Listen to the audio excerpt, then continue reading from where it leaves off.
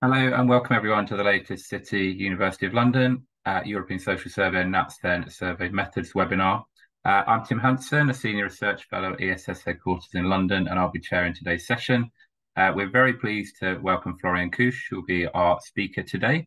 Uh, Florian is a Professor of Social Data Science and Methodology in the Department of Sociology at the University of Mannheim and Adjunct Research Professor in the Joint Program in Survey Methodology at the University of Maryland. In his research, he assesses the quality of modern methods of collecting data for the behavioural and social sciences, with a particular interest in self-reports and passive measurement. Uh, and today, Florian will be presenting on the topic of data collection with wearables, apps, and sensors, providing an overview of the currently available technologies and how they can be implemented in surveys. Uh, he'll talk for about 45 minutes, and there'll be some time for questions after that. Um, if you do have any questions, please type these in the Q&A area, and we'll go through as many as we can. So I'll now hand over to Florian.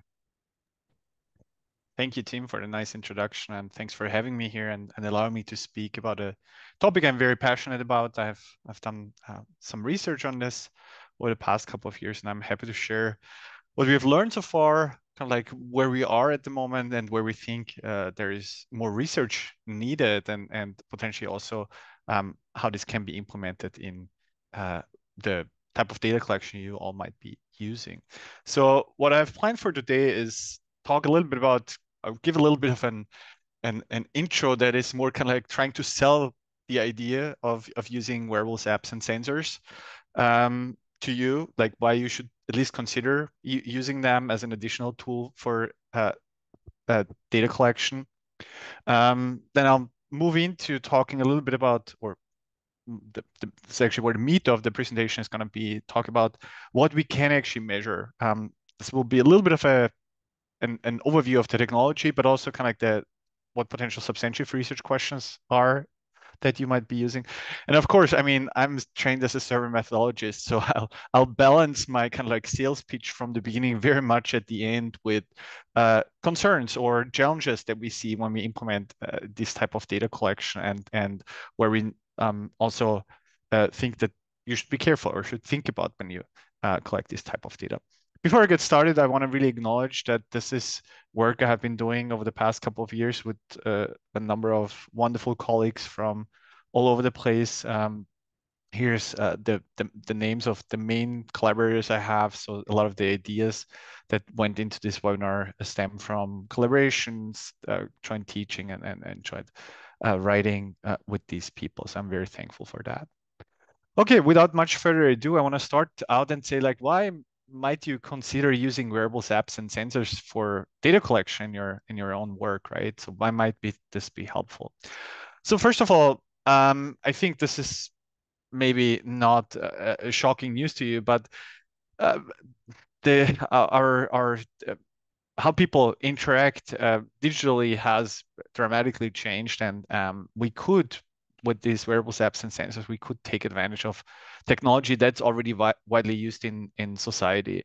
Mainly, if we think about smartphones, they have a large penetration. Um, of course, we know there's certain groups in the population that don't have smartphones. I'll come back to this, but overall, this is probably the tool, uh, the device that um, most people are using, right? Um, both as a telephone, but also getting access to the internet.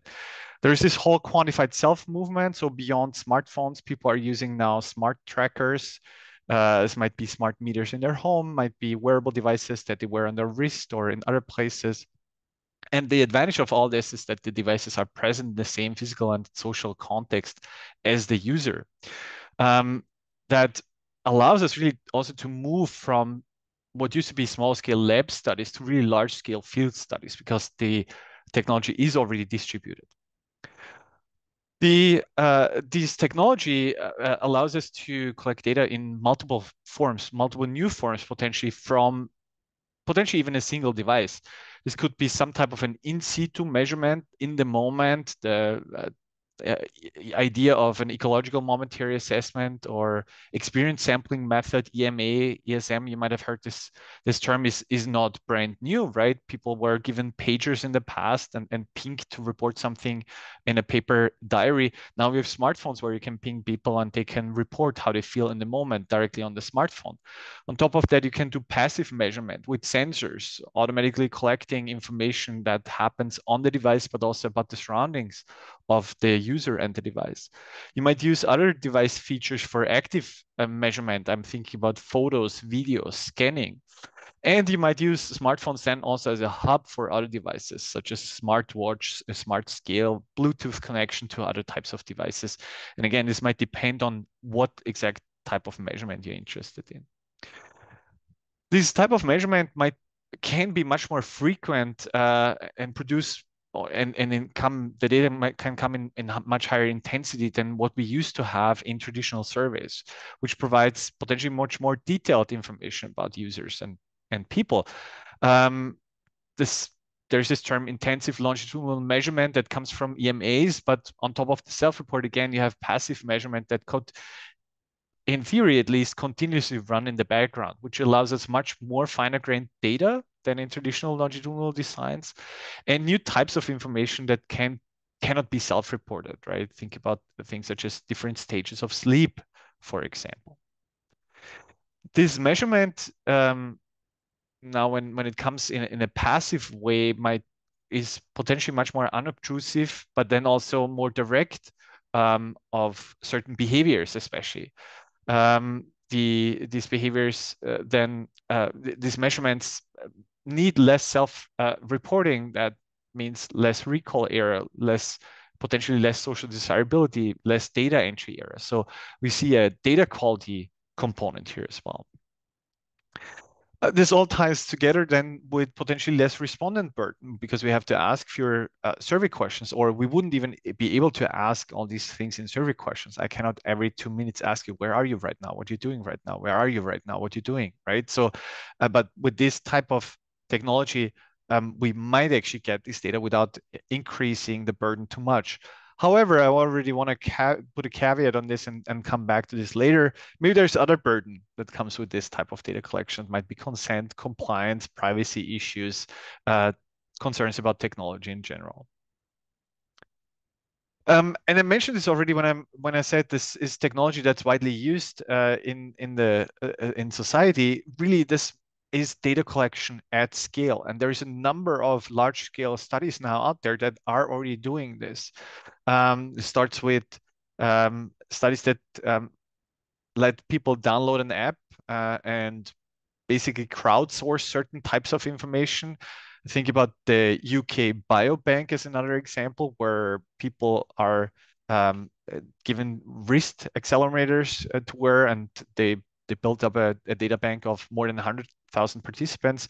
In the US, there is the big all of us study where the goal is to have uh, eventually 1 million people providing data for example through self-reports but also through um, fitbit uh, data collection right so these are numbers that we just weren't able to collect this type of data because we had to bring people into a lab um, to go through a study protocol um, which is um, an, an, unnatural like a lab um, uh, setting where the data might have much less external validity. Now we can really outsource this at scale with um, um, um, at, at, at relatively low costs. And then finally, um, I put this here with a question mark. Potentially, we could even dare asking new research questions. And this is something me and my colleagues have are, are have been discussing a lot. Is it really that we can now um, ask new research questions, or is it that we are just now better equipped to ask research questions that we already had, but and now we have better data for that. I think it's both uh, in a sense, um, and I, I would dare to ask to to consider really thinking a little bit outside of the box. I think we were to a certain degree limited by the methods that we have been using in the past. Um, in, in the past in terms of um, uh, survey data collection um, that happened just in in certain uh, uh, frequencies uh, longitudinally, right? Like every every year or ha um, um, half year or so with self reports. Now we ha can have things uh, measured at much finer grained level and potentially then also ask research questions that are really tailored towards this new type of data collection. But this is something I really um, I'm curious to hear from everybody. Also, um, people who do much more substantive research, right? I, I, consider myself really a methodologist, thinking about the the, the methods behind this. But I'm I'm always amazed when uh, uh working with people uh, in specific fields of, of how they come up with new questions that where they say like, oh, we, we haven't even dared to uh, ask these type of questions because we didn't have the tools for that. So as I said, this was kind of like my intro, right? I, I hope some of the things are at least convincing to at least start thinking about using wearables, apps, and sensors in data collection. Um, let's dive a little bit deeper into what is even out there. Um, and first of all, we have to think about well, there's different devices, right? Different tools that people have, and I this is a completely incomplete or not random, but but very selective list of potential tools that I, I want to briefly talk about, them, but give you the the understanding that we have to think about tools and technology, and then um, what we can do with these different tools, right? On the one hand, of course, there's the smartphone, which is uh, in my work at least uh, one of the primary tools that we use because it really encompasses so many uh, different things. It allows self-report. Um, it allows certain measurement in the background about the environment where people are, uh, about physical activity, as I will um, show in a second. Um, but also it, it allows this self-report component, which makes it really a, a, an interesting tool for many, many researchers. Then we have designated fitness trackers, right? So you know the Fitbits and all the other brands that are out there that many people are now wearing almost as a lifestyle choice, right? Um, some of them are a little limited in the sense that they um, do not much but uh, collect uh, step counts and but the, the technology is advancing and and we see more and more that and that's what we have here on, on the on the bottom left that there's a merging of kind of like what is is this still a watch? Is it a fitness tracker? Is it both right? So we have this whole component of smart watches that then link back to smartphones. Um, sometimes even have some apps some some have even basic response functions that might one use.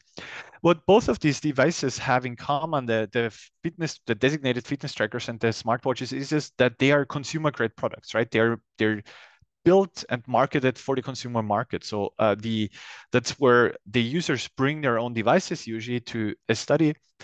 Um, which is a great thing on the one hand, but it also has limitations when we want to use this for data collection. One thing is, of course, that we have a breadth of different products, right? Not all of them work on the on the same platform. Many of them have different platforms. Many of them um, collect data in in slightly different ways. So once you have this this a, a lot of different devices, it might get hard to uh, compare the data coming from them. But they're very appealing to people, right? Uh, if you think about giving this out potentially as an incentive, people like to receive a Fitbit or something like that. Then, of course, you have these more research grade devices. Here, the, the GENEActiv, the Actigraph, you might be familiar with some of those um, brand names. They're really marketed to researchers, right? And, and they're the, the idea is, well, they don't have an interface at all sometimes, as you can see here. And then they're just handed out for uh, a research project and then sent back to the researchers because they basically track uh, information on step counts and, and other activity but for the user themselves, they don't have a, a strong appeal. Um, so you have to, to weigh this, right? Because uh, you have to design a protocol where people are really wearing those devices uh, and um, uh, sending them back. But uh, compliance might be an issue here, right? Because the device doesn't really do much for the for the user. I also have here two other sets of devices. One is here different GPS trackers that are common or that are very specialized potentially, right? Um, that might be used in in very specific fields. Just as an as a dummy here, I put this um, as, as a group of, of things that there is many other devices out there that have a very narrow um, field of application. There is a ton of um, medical or health related um, Bluetooth devices, for example, that collect um, digital uh, health data, but have a very specific narrow uh, uh, application. And then it, it depends really on, on the research project or the research question you have, whether this is a device that's useful. And then you have all these what's now called environmental sensors that come in different shapes and forms that are can be placed um, in in locations and sometimes they're uh, placed in the public space or sometimes they're placed in, in people's households to collect some type of data. So this is just, again, an, an, an, an overview of potential devices and, and tools we're talking about here. As I mentioned, um, I'm going to talk a little bit more about smartphones. I'll also incorporate some of the other devices, but I think the smartphone is especially interesting because, first of all, it has a number of native uh, smartphone sensors built in there. Um, so maybe you knew that potentially your smartphone has all these, and these are just kind of like the most common uh, sensors that are out there. Many of even the um, cheaper or uh, lower, less expensive smartphones now have um, a lot of these uh, uh, sensors built in there. And the important thing is it's not about the individual sensor, but it's what groups of sensors or what the data that comes from these sensors and, and, and, and, and the data provides in terms of context about the user. Um, of course, I'm, I'm, sure people think about uh, location, um, but there's a number of sensors that provide information about physical activity, potentially for smartphones. You could think about measuring ambience or environment of people in terms of the audio or light that comes into uh, the smartphone. And then a lot of things that connect to the smartphone, but it also tells us something about, potentially about proximity to others or proximity to other places or proximity to uh, other devices and therefore other users. I'll pick up a couple of the most common ones here, start talking about geolocation, because I think geolocation is probably the one thing that's most often used uh, in when sensing together with active, um, uh, activity data. And geolocation can come from different sources in a smartphone or any other smart device, right? That might be GPS, so the traditional um, geopositioning system that allows you um, to basically base your location based on the on, on the GPS or GNSS uh, system that works with satellites. That has a limitation if you are in a big city potentially where uh, there's high-rise buildings where the satellite uh, connection is not that good, right? Um, but then there's um, other things. There's the cellular network, of course, right? So the cell towers, and and here I, I, I use a map here of of London of some of the cell towers. I think this is just from a specific uh, brand of, uh, of, of a provider. Um, but basically, the cell towers, of course, also work as a geo coordinate, right? And if you're in the vicinity of at least three cell towers, the location based on triangulation is pretty precise. Um, what many people don't know is that a lot of geolocation data comes from Wi-Fi networks. Uh, a bunch of companies operate or maintain lists of uh, uh, Wi-Fi systems, networks in um, uh, in uh, around the globe, right? So again, we have a city map here of London, and all the uh, purple violet dots are uh, individual Wi-Fi networks, and those are not coffee shops or or open Wi-Fi networks, uh, public Wi-Fi networks. Those are any Wi-Fi networks that a device might register, right? You the device might not log into this Wi-Fi network because you potentially don't have the password of your neighbor or something, but your device will register that there is a network, right? And in the background, there is these lists that are maintained by companies like Apple, Google, uh, and the like uh, that maintain these lists. And then you can retrospectively match this information based on, uh, especially uh, uh, based on, on, on city data where GPS sometimes is not uh, so well um, um, reachable for, for some devices.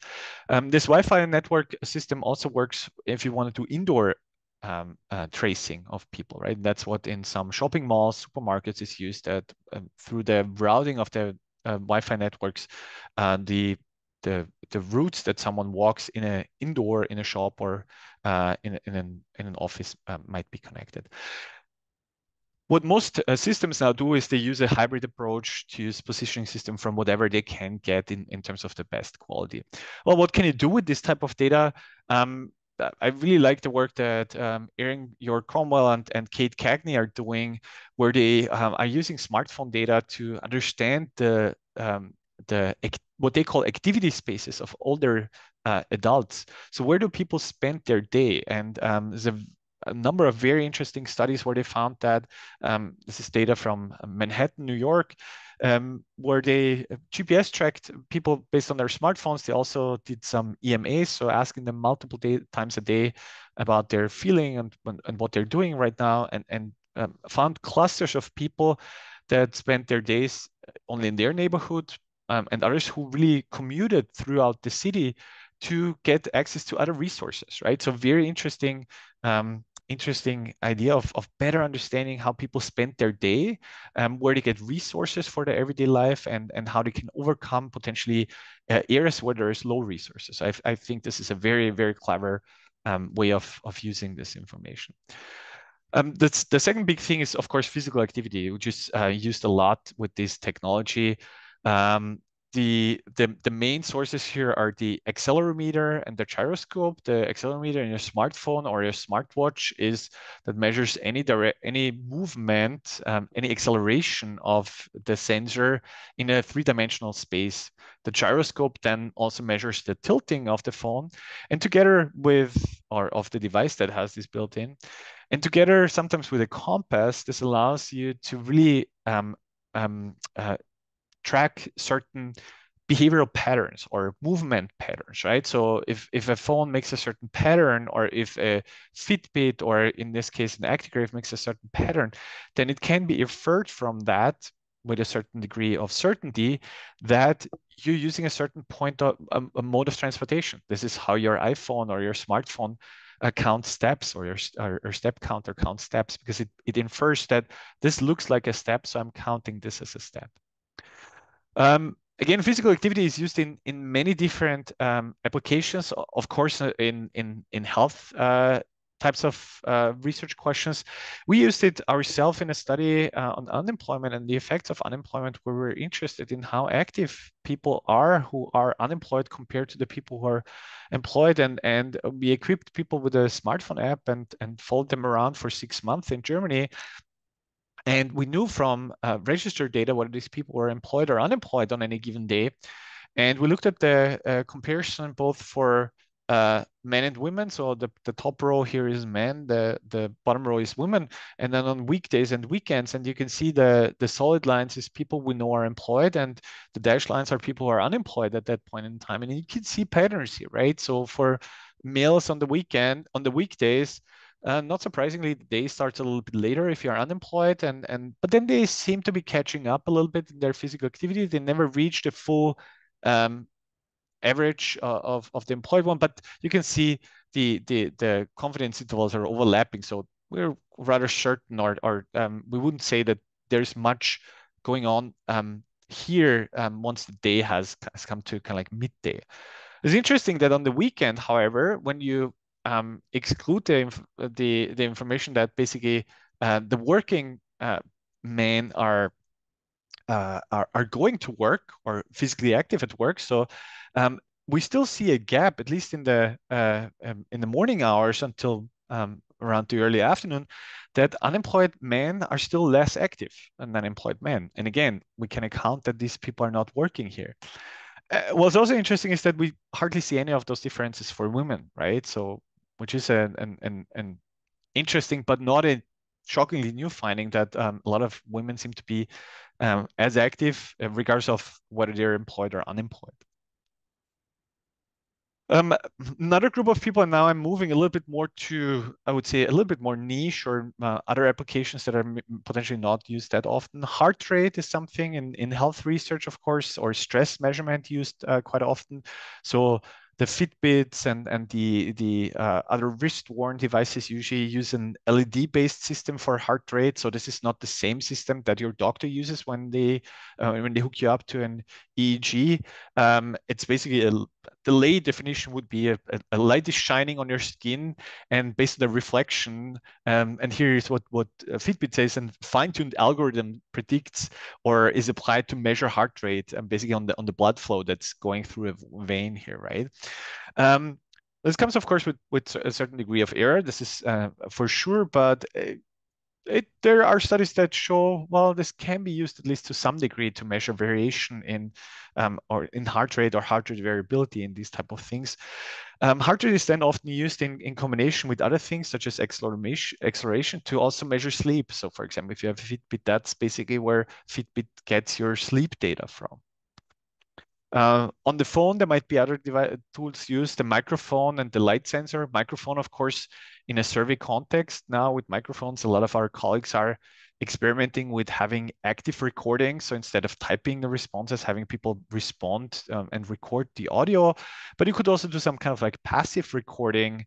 Um, and I have to be careful not saying recording, but it's a passive measurement of ambient sound that's usually processed on the device. So in only very few cases where it's actually legally possible, um, studies do record what's happening outside, what a lot of studies are doing is they pre-process the data right on the fly. So there's an audio coming in, and based on the uh, the type of noise, based on the pitch and the like, there's a classification happening on the phone that says, well, that's potentially someone having a conversation with someone. And then what's stored and sent to the researcher is then the information. Well, at that point, someone had a conversation with a research uh, with another person, or someone was out in traffic or things like that it's not actually the content that's stored in many cases. Um, you might also use the light sensor that comes with each phone to just understand something about the brightness outside. And, and again, in combination, these things might be used to measure things such sleep or activity state. Um, there's a nice study that's now almost 10 years um, old, but in, in, in, at a university in the uh, US, what they did is they equipped students with um, um, uh, smartphones and, and had different types of data collection. They had self-report um, about uh, stress uh, measures uh, and academic performance, for example. But then on the smartphone, they collected information about uh, connectivity to other people, about their physical activity and their sleep patterns based on this. Well, is light coming in? Is there a sound coming in? Is the phone moving? So they developed the best sleep model based on that. And they found that this really correlates strongly with uh, depression score and academic performance. So there is some some validity in in these type of measures. Um, the last point I want to, um, uh, or uh, one of the, the, the last sensors I want to talk about is is Bluetooth because Bluetooth, in and an, as an extension, some other uh, connectivity such as NFC and uh, NFID, um, but Bluetooth is probably the most common uh, used. Is that uh, this allows uh, especially smartphones to connect to other devices. I already mentioned this um, with Fitbits, but also a lot of healthcare devices. There's a huge market now in, in digital healthcare where your blood pressure um, um, um, might be uh, connecting to your phone. I have a scale that Bluetooth connects to my phone and other types of things. So that might be something where you automatically track, um, route this data through a smartphone in your data collection. Um, there's also this idea of, of Bluetooth beacons that could be deployed by researchers. Again, this is an alternative sometimes to, to use Wi-Fi, especially when it comes to indoor uh, tracking of people. Here you can see a picture in, in a supermarket where this is set up, where basically the Bluetooth uh, connect, um, looks where phones are around um, in in the uh, in the store in the shop in the shop um, so to trace people around, this has been used for measurement of exposure to outside outdoor advertising and things like that. Um, but again, Bluetooth allows to communicate also between smartphones. And here's again an example of a nice study, I think, um, in Denmark, where they equipped a thousand students, uh, incoming students at a university, freshmen, um, with smartphones, and they connected Bluetooth information of who is spending time with each other throughout the day, but then also information in the background about um, how they communicate through other means, uh, through social media, through WhatsApp and, and the like. Uh, and they found that there's different patterns, right? So the face-to-face information comes from the Bluetooth connection, right? So when my phone is close to your phone, then we probably have a, a face-to-face interaction. Um, but then you can see that this extends to um, other networks that comes from text messaging, that come from calls and, and other things. So it's it's more of a triangulation of seeing networks here, and and uh, especially this Bluetooth connection, but also the other um, connectivity measures are um, a big deal for people who do network type of analysis in in groups. Um, digital phenotyping is a broader uh, terminology that's sometimes used to really measure what people do with their on their smartphones, uh, smartphone phenotyping or digital phenotyping in an even broader sense, but what people do um, online. Um, and the idea is really that any smartphone collects this inf information in the log files. So this is, if you think about it from a survey perspective, this is almost paradata, right? Like what am I doing on my smartphone when I interact with my smartphone? So incoming, outgoing phone calls, text messages, what apps are used, um, what internet browsing behavior is done, um, is the are the, the settings of the phone changed? Um, this depends really on uh, the type of phone that what type of measurement is allowed and how deeply this measurement can be. We, as a rule of thumb, um, Android allows a little bit more measurement than the iOS system from Apple. So this is why you see in many studies people limit uh, to Android um, phone users. Um, again, what can be done with this is an example from a colleague in Switzerland um, who uses uh, a, a, large German data set large, um, it's relative 700 and around 750 um, people in Germany who had an app downloaded that um, um, reported this log file information of what people were doing on their smartphone. And then they um, also um, all filled out a big five structure inventory about personality. And they were able in their research to really predict personality, or at least some of the personality dimensions based on six different classes of behavior. You can see these classes here, what apps are used, what communication, and social interaction is happening, how is the day and night rhythm of people based on the phone, the overall phone activity, uh, mobility. So there's some information also coming from um, uh, geopositioning here, but then also whether people are listening to music on, on their phone and this type of thing. So very interesting, again, application of trying to measure something that is usually measured uh, in self-report through behavior on using this small. Of course, I mentioned the smartphone also has a, a, a camera feature that allows us to take pictures of food, receipts, potentially the physical surrounding of people. More and more studies are looking into can we substitute uh, diary studies of what people eat, for example, or what people consume and buy by letting people scan instead of having them type this out um, into uh, a diary.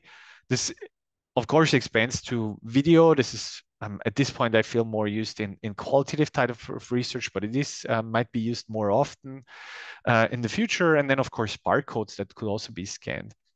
Um, in in the UK, um, Annette and, and her colleagues at Essex have done really groundbreaking work here. I think, um, looking at whether people are willing and able to scan their receipts and and compare this to traditional diary studies right? And they found that for certain groups of uh, spendings this works quite well right? So uh, asking people to scan their receipts instead of having to type them in, in a diary and this works even better um, if you um, combine the two. So what you can see here is the the, the blue line is the traditional um, uh, the, the, the spending study data that you get in the category of clothes and, and footwear. Um, the red one is the app uh, data that is uh, scanned and plus direct entry, so people have the chance to add more. And the green one is just the, the scanned data. And, and the lines, they're not perfect, but they pretty much are close to each other. So with a little bit of push, you might get people even more to do this. But then there's, of course, other types of um, activities or spendings that are not as well suited, right? And this is socializing hobbies, right? Where potentially sometimes you don't get a receipt even, right? If you go play mini golf or something or go to the movies, potentially you might not even have a receipt, right?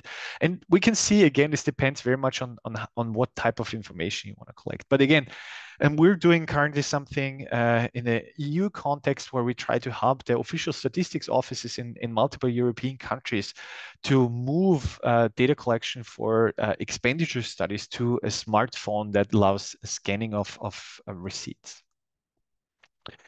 And then, of course, um, I want to um, really, really emphasize that I, I, I, strongly, strongly believe that most of these uh, new forms of data collection are not a substitute for old type of self-reports. Some of them might be better measurements, but in many cases, we'll still need some type of self-report, um, you know, to validate what we found from the um, passive measurement or the scanning, or and or to add more information or certain information that is just not possible.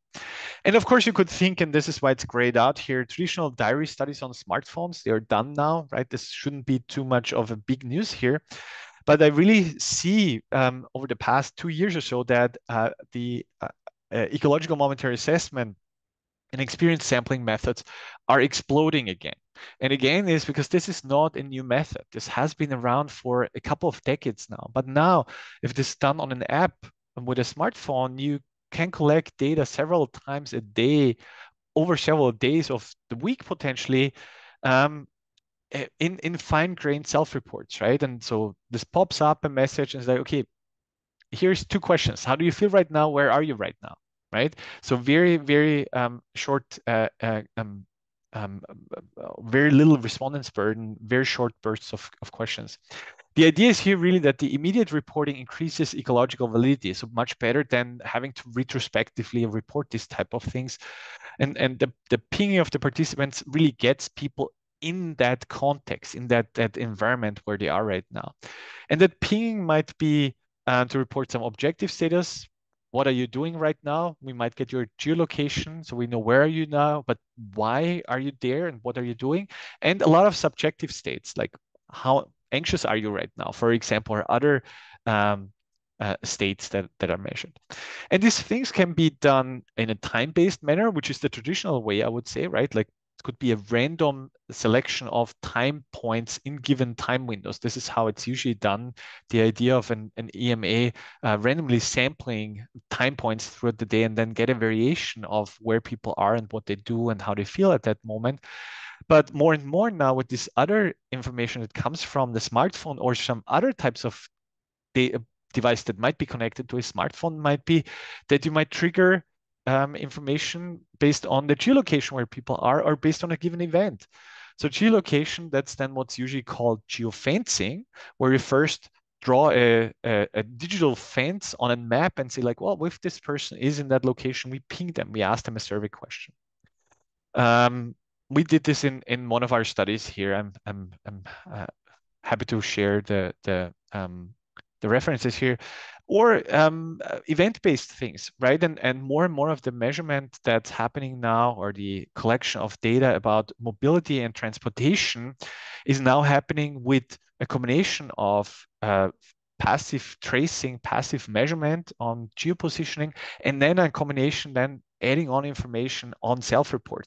So here's a study or a, a device, um, an app from the US, from colleagues in the US, where they had trip detection, right? So the trip detection is happening automatically on the phone based on what what the phone thinks is a stop, the start and the end of a, a trip, and then follow-up questions that cannot be inferred from this information. So why did you stop here? What's the reason? Were you alone? Were someone else there?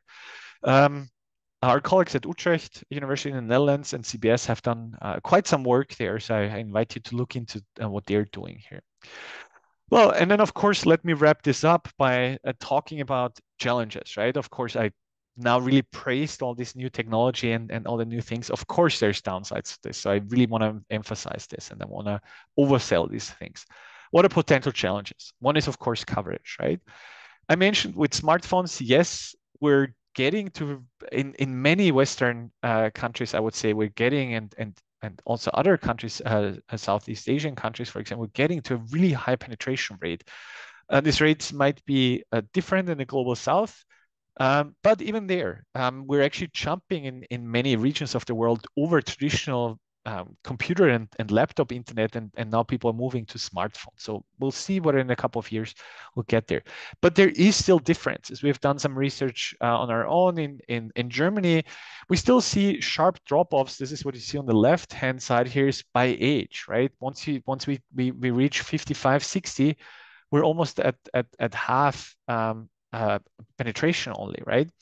On top of that, we see that not only younger, but also in Germany, people who are male, who have a higher education, who live in certain areas, are more likely to have a uh, have a smartphone.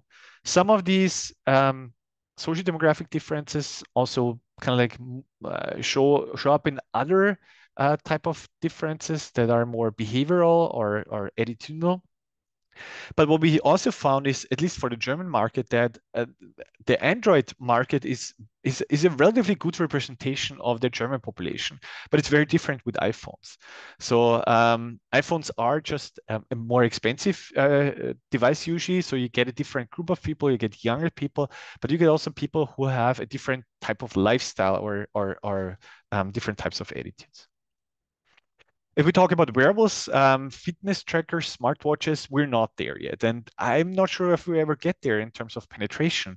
Um, here's, I love Pew Research. Um, they, they do such great stuff um, in, in terms of have help us better understand how technology, for example, is is used in in in a society. So this is U.S. data here, where they estimated for uh, uh, 2019 that 21% of Americans uh, have used or use a smartwatch or a fitness tracker. But then we also see uh, quite stark differences. Women are more likely to have a smartphone, a smart tracker. Um, younger people are much more likely. Um, college-educated people, high-income um, households are more more likely to have people with uh, these trackers in there. And I'm sure this extends to people who have a more healthy uh, lifestyle because they use these smartphone uh, smart devices usually to track themselves. So this makes it um, makes it a concern if we just let people bring their own devices. So the alternative is, is provide devices, right? So to increase coverage, to make uh, measurement more comparable, I already mentioned people have different devices, they measure things in a little bit of different way. So this also helps here um, to have one specific configured um, device. Um, and some of the devices might even be better for measurement when it comes to uh, uh, research grade devices. On the other hand, of course, if you hand out devices, there's always the concern about uh, compliance. Uh, the costs are a factor that is not negligible. Um, thinking about, well, do you have people return the device after they're used and they have to be cleaned, they have to be sent out. This even might uh, now create health concerns. Since COVID, my understanding is that many studies have shied away from handing out devices and collecting them again. Uh, and potentially this also might create uh, reactivity point I will come back to later because if you hand people a device and tell them how much they walk, maybe they, they, they start walking more because they feel they're not walking enough. Um, other potential um, challenges, of course, non-participation. This might not come again as a shock to you. This has to do with the willingness of people, the ability to use these devices, and then the adherence to study protocols, right? Um, me and colleagues and, and a number of other people have done some work on trying to understand what drives people or what are factors that influence participation or willingness to, to participate in the studies. And some of these things are very similar to what we know from, from traditional survey methodological research, right? That incentives help. Um, but um, since this is uh, potentially sensitive data, we also learned that agency, giving people agency, giving people more control over what data is collected over uh, at what point in time also helps increase willingness to participate. We see that similar to what we know from, from surveys that sponsors, the sponsor who conducts the research makes a difference, right? We found that the university, lucky me, um, creates uh, more trust in, in, in people to collect data than a market research company, for example. Um, we see that people who are have higher skills, who are more active smartphone users, for example, are also the ones that are more likely to download a research app. People who have already prior experience. And we see something that connects from the coverage issue, where we already see that uh, younger people are more likely to have these devices. Younger people are also more likely to um, participate, and we have the same with education here. So we know that this is a concern, and we have to think about this, or you have to think about this when you do your own study. And then compliance also has to do, of course, with whether people are wearing the devices in the way that you want them to wear them. If you think about loaner devices, if it is a clunky device, if it's not a nice, cool device, right? People might not be really um, happy to wear them, right? So it's not only the consent rate, but also the compliance rate. And this is sometimes really hard to measure. I, I won't go in, into much detail, but what a number of studies found is that um, this has to do with whether the device is visually appealing, whether it's comfortable, whether it some some things some people can just not wear uh, certain devices because they get a rash from it. Um, the battery might run out, and and things like that that that we have to to consider. Uh, participation or willingness to participate is always tied to privacy and ethics, right? So we have to think about that just for some people, this is too intimidating or too sensitive to say, well, I'm and I'm not saying that this is a bad thing. Quite the contrary, I'm, I'm happy that people are concerned about what data we use and, and how we uh, collect data. And a lot of people express strong concerns about potential risks related to sensor data, right? They don't know what the data is used for. Uh, they, they might not understand exactly what we um, what data is even collected in a study. And we see that uh, throughout many studies that people who have higher privacy concerns, higher security concerns about data collection are the ones who are less likely to participate, right? And um, so a, a, a, huge burden here falls on uh, collecting consent, right? Um, of course, from an ethical and, and legal reason, we have to ask for consent. I, I don't want to question this here, but it's something you really have to think through with this type of um, data collections. What does even informed consent mean for a longitudinal data collection where people are um, giving consent to provide their GPS data every 15 or 20 minutes? If you do this for a day, you might learn something about one day. If you do this for six months, you are i'm pretty sure you learn exactly where people live how they spend their day where they work potentially where their kids go to school because every morning they stop at that same point and every afternoon they pick them up again there. So there's a lot of uh, things that are different from what we know from uh, uh, from from traditional self-reported data. This of course bleeds into a legal discussion right about personal identifiable information, what even is personal identifiable information, GDPR uh, concerns and the like. Here, the point is really, if you do this, start, start now, start yesterday thinking about these things and, and bring in the legal uh, and ethical experts in your institution to work with you on the protocol. On the other hand, there is also technical implementations. Uh, privacy by design that might really depend on the device, the operating system, and the researcher choice. So you do not have to collect GPS data for six months um, every 10 minutes. Maybe that's not even necessary for your research question. So you should really think about also data sparsity in the sense of like, well, if you don't need that data, please don't collect them.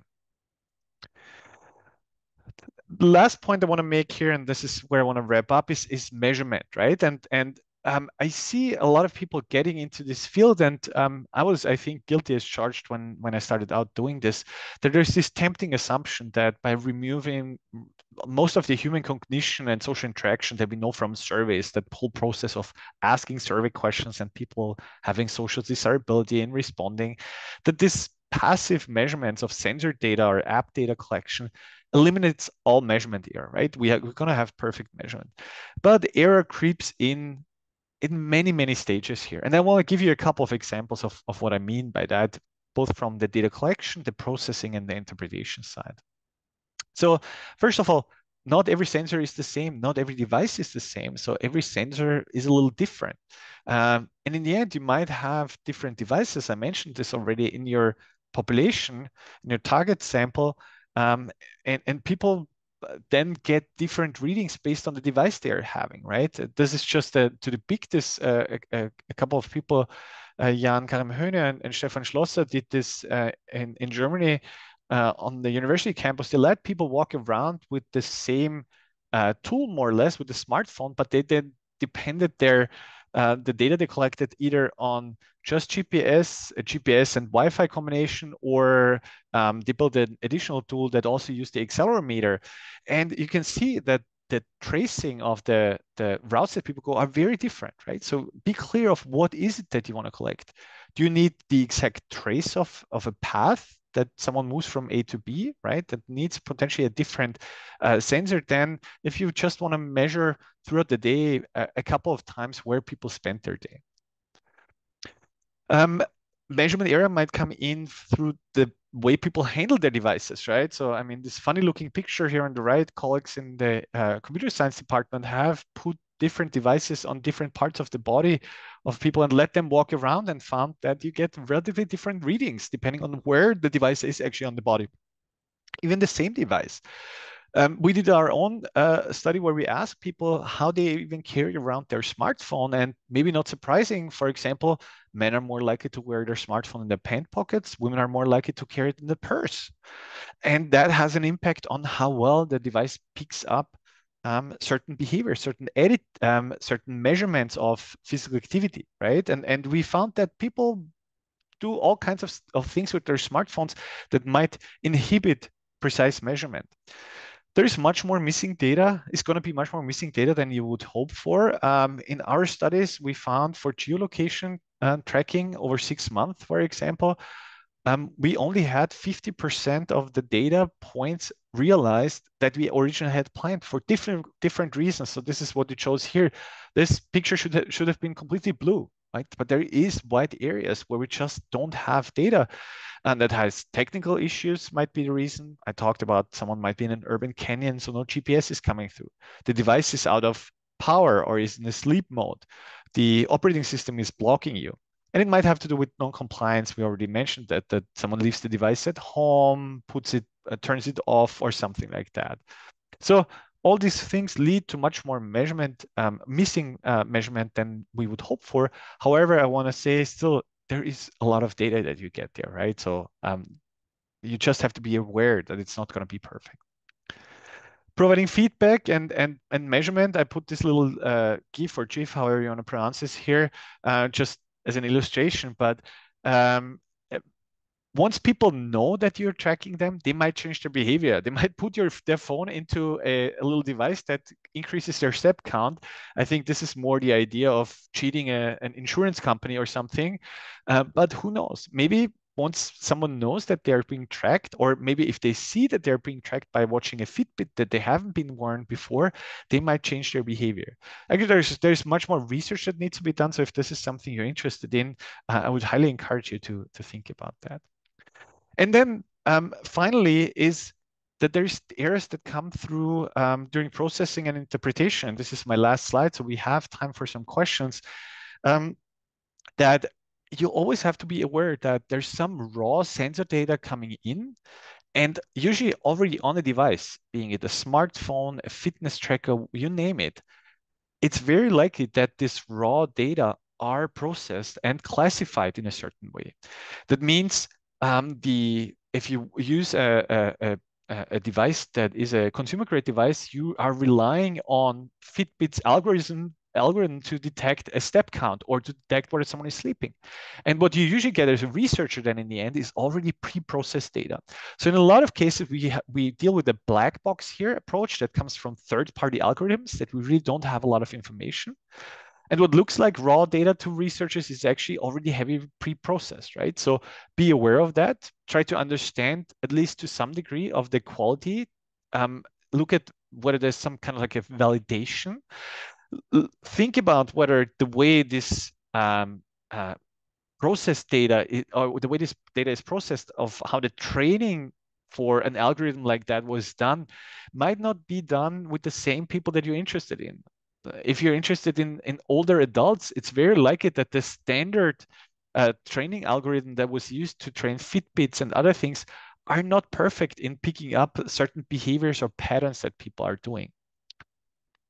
So in the end, again, I want to close out here by saying, well, self-report is still very important, being it for validating um, what you're measuring or being it for providing context uh, to uh, the passive measurement. So with that, I hope I was able to give you a little bit of a, a smorgasbord of, of things that I think are interesting here. And I'm, I'm happy to move into the Q&A and I want to uh, say really um, if you have are interested in what i'm doing what the what the people we're working with are doing please contact me. We're always looking for interesting cases collaborations. Um, i'm also working on a book that's going to be an, an open access book. There's only one chapter out there. Feel free to to get there and, and give us feedback. And with that thanks so much and i'm looking forward to your questions Great. Thank you, Florian, for uh, a really interesting presentation. Um, and uh, we've got just under 10 minutes, I think, for questions. So I see there's a few there already. Um, so I'll, I'll, ask these and you can respond kind of to each in turn. So first one from Andrea Marchesi. How can we validate our sample? Usually data is provided by volunteers and therefore we cannot select a proper sample that could be considered representative. Oh, that's a good question. I mean, this is true. I didn't mention this, but um, I see two approaches are happening, right? So in, in a in a survey research world, right? I mean, we we're concerned about samples, and I see that more and more of the large scale surveys are now implementing these type of uh, uh, new data collection forms in their traditional survey uh, procedures. And I think this is a great approach because again, it allows us then to understand the mechanisms that happen or or the, the, the different stages of where we lose people right in terms of the sample. Because if you if you work from an existing sample right that a probability sample that you have potentially recruited for a large scale study you already have some information you know then who is willing to to to participate in your added uh, wearables apps and sensor study. So that might actually help you to um, at least use some weighting or at least understand who you're missing from on the other hand, of course, we see a lot of studies that where basically um, researchers take volunteers, right, and say like, okay, whoever already has a Fitbit and is willing to participate in our study, um, participate. And that's what I mean by well, then really think about who already has a Fitbit, like who are those volunteers, and and what are the are you potentially concerned that those are the super healthy or the people who want to get more healthy already, right? And then you have to think about, well, is this are you going to be able to generalize to a larger population? So very important question um, do you have to think about in these type of studies? Great, thank you. Uh, next question from uh, John Burton. Uh, WTP, you, you, had on one of the slides, willingness to participate. Um, can you just clarify if this was measured by looking at actual participation rates, or was this a question about hypothetical willingness to various activities? Yeah, excellent question. Thanks, Jonathan. You, the, the willingness to participate um, is usually measured as a as a as a hypothetical one. There is relatively few studies so far out there that really look at actual participation. There is a few out there. Most of what I'm showing on that slide is actually hypothetical willingness. Um, we were able, or research was able to corroborate some of these, but again, I think we need much more studies. We need to move away from. I'm, I'm guilty as charged with having uh, done a lot of these hypothetical questions, but I think we move, need to move towards more kind of like okay, uh, what people say is one thing, but then whether they're participating or not is a different thing, and and I, I think we need more research on that. So shout out to Jonathan, please do this type of studies. Great, thank you. Um, next one from Ava. Uh, thanks for a great talk. Uh, thinking about the limitations of passive data collection and the limitations of traditional self-reported measures, um, how do you see mixed mode data collection, including surveys and passive sources? How comparable is the data after processing and harmonization, um, e.g. self-reported trip data versus GPS-based data? Yeah, no, excellent question. Um, I've been thinking about th this. This has Uh, this is not the thing that that keeps me up at night but this is something that ha i have been thinking a lot about and i don't have a definitive answer to this. But i can tell you my going into this my idea was more kind of like okay we will have some measures where we are sure that the self-report is still going to be better and some measures where we're sure that at the end the, the passive measurement is better. And i think this is true for some things. But we found for other things that we're actually not measuring the same, right? So uh, sometimes the self-report is really a perception measure, right? Like of uh, what people think they're doing, and and that's maybe still available a valuable type of information. And then you have the passive measurement that itself has measurement error, but it tells us something more directly about behavior. And I am a big fan, and, and Alex Cernat and, and, and others have been working on models to bring together data sources uh, from different data from different sources and, and combining them and thinking about to how to integrate them, acknowledging that both of them have measurement error, right? And that potentially we need to move in a direction where we at least have an overlap of some of them to better measure actually certain behaviors and attitudes. So I think this is this is actually the direction that we need to to be going and thinking about. Yeah. Oh, great. Thank you. Um, Question from Miranda Phillips. Do you know of any examples where wearables or apps have been used in research with children? Uh, yeah, that's a good question. Um, yes, there is few out there. There's few publications out there. I know that some people um, with usually then the devices are very specific. So those are specific bracelets for kids, for example, or necklaces for, for kids that, that have been used. Um, usually you, depending on the age of the kid, you don't give them a smartphone, for example, right? So you give them really some type of a wearable. Um, the, the, the, the, the additional um, concern or, or, or, or layer of complication, of course, is, is, is consent and, and, and, and having to work, of course, through um, uh, the uh, uh, the, the, adults or parents or, or guard, legal guardians, right, to, to get consent. So there is a few studies out there. Um, it, I think it's an interesting field, but it it I think it adds just another layer of complexity that we already have with privacy and, and concerns that people have. It's like, okay, I don't want you to track my kid, right? So which is again, of course, makes sense. And and I, in general, I think we need to rethink the way we approach people about consent and, and, and make it clear of what we're doing and how we collect data to to to uh, yeah reduce the concerns that people have at this point about the, this type of data collection. Thank you. I think we just got one minute left, so maybe take one last question. I know questions are still coming in, so apologies we don't get to your one. And obviously, you can go ahead and, and email Florian to. Of course, please do so. Um, and just to say, the recording and, and, slides will, will be shared afterwards as well. But just one last question. Um, I was impressed how in depth you discussed the problems and issues with wearables, smartphones, etc. Um, after these considerations, what purpose do you actually suggest them using? Actual usefulness seems to me rather narrow, especially with generalization intentions to a certain population. Yeah, no, that's that's a good point. I'm, I'm, I'm, I keep questioning myself, like, okay, now that we know all these things work only to a certain degree, um, need, do we need to be careful? Yes, we need to be careful, but I think this is not the end of it, right? And I mean, uh, you, you could argue surveys are not perfect either, right? So um, we, we know that we need to think sometimes outside of the box and need to think about new ways of collecting data. And again, I think going forward, it's going to be some kind of a combination, right? As, as, as Eva had, had, had asked, like, okay, how can we collect different types of data from people? And again, this might be a third part might be uh, record linkage to to uh, to official records and, and things like that. So I'm thinking of that as kind of like more a, broader thing that you need to think about what's your research question. Is there a potential application for these type of things? I'm I'm I'm certain that there is applications. Um, but I'm also saying not every type of research question lends itself to use smartphone or app data. I'm I'm far from want to be kind of like an evangelist uh, here and say like everybody has to use them because I don't think that's that's what's what what should be done. Sure, great. All right, that seems like a good point to finish on. So yeah, apologies we didn't get to your question. Um, as I said, please please do contact Florian. Um, and yeah, thanks very much, Florian, for a, really excellent, really uh, interesting presentation that has raised lots of questions and, and interest amongst uh, the participants. So thank you everyone, so, and uh, we'll see you all soon. Thanks so much for having me. Thank you.